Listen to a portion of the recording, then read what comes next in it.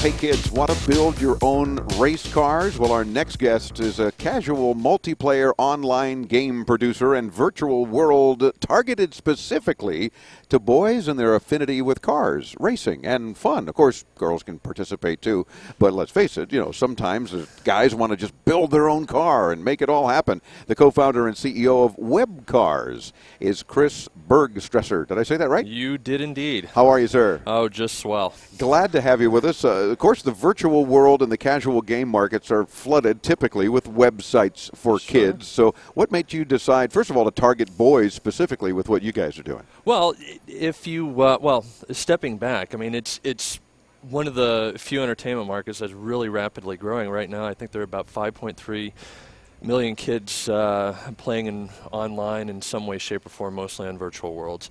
Uh, it's projected to be about 20 million by about 2011. Uh, so that's a pretty substantial growth curve, uh, specifically for boys. I mean, if you if you look at how virtual worlds and a lot of the gaming sites have uh, positioned themselves. Um, uh, their social mechanism almost always kind of skews female. Boys, as we know, socialize different than girls.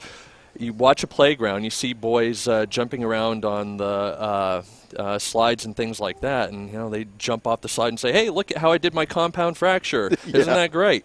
and and so uh, so it's it's really sort of measurable achievements for them and uh, a sense of competition. And although uh, Club Penguin and Webkinz have fantastic services.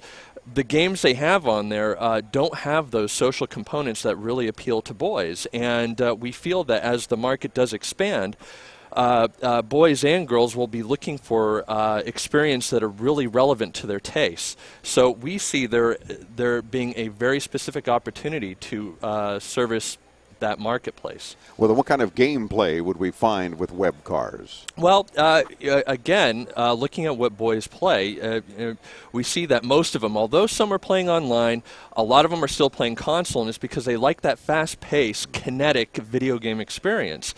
And uh, we wanted to bring that. So it's a big virtual world split into a lot of different cities.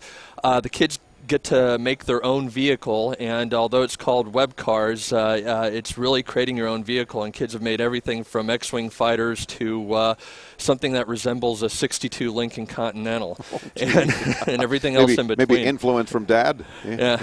And uh, so anyway, they um, they go into the virtual world. They can crash into buildings, race around, drive up the sides of buildings, teleport here and there, and uh, gain points, uh, win badges, and uh, socialize that way. And I'm assuming parents can feel comfortable that if they're involved with Webcarzz, it's not only a safe environment, but they might even learn we're, something. We're utilizing CRISP, which is the best chat filtering system out there. We have a huge group of people to really monitor that. And we're using Flash 10, which is uh, uh, incredibly safe. Terrific. Webcarzz, C A R Z Z. Correct. Webcarzz.com. We'll link you to Chris's site. You'll see what his folks are up to. You got to check it out. It's very cool. Still in beta, right? When will it be available? It, it will be closed beta in April, open beta in May, and uh, you're welcome to come and get a beta key right now if you want. There you go at webcarzz.com. Back with more from San Francisco after this.